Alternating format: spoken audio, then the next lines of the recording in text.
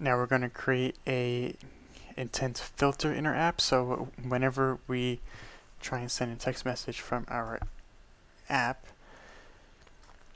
our own our own activity will be started. So it will be in that list of apps within that. So we're going to create a new activity. We're going to call it text activity this also works with other applications so if you have this application installed and another app wants to share something through texting, this app, well, this activity will be called also within the uh, that list. So you want to go to our manifest. We want to go to the activity, and it's right here. Create a intent filter. We want to create our action and that's same thing as this intent.send action action send. So we want a name for that. And we want a android.intent.action.send we want a category name We're just gonna get the default uh, in MIME type.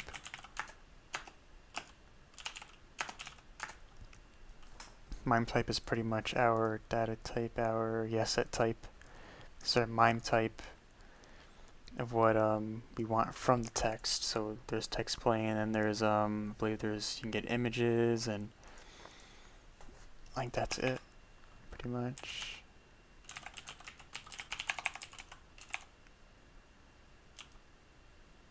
It's done with the manifest.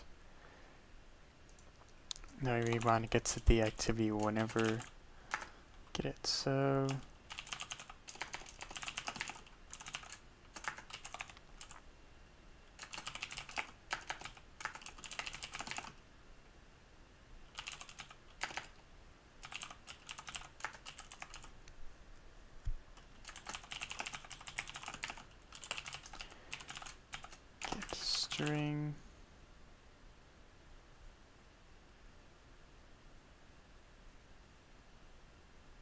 extra.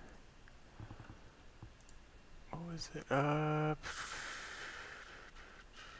it was intent extra text.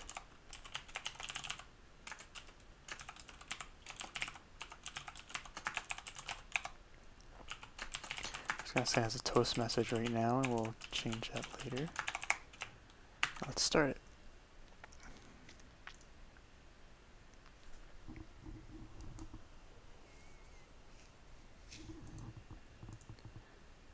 And that should work.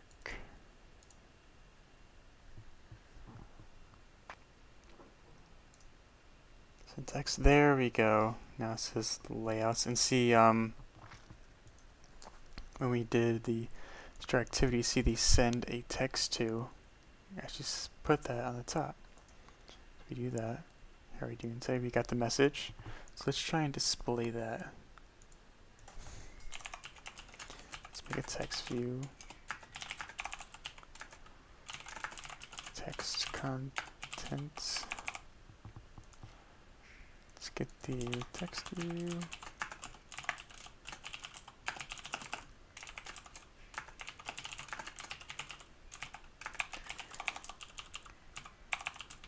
Let's set the text contents to the message.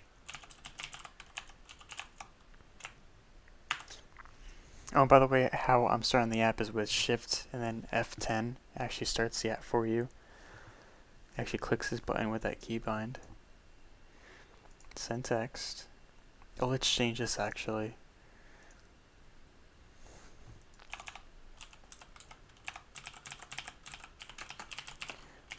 App would you like to send a message to?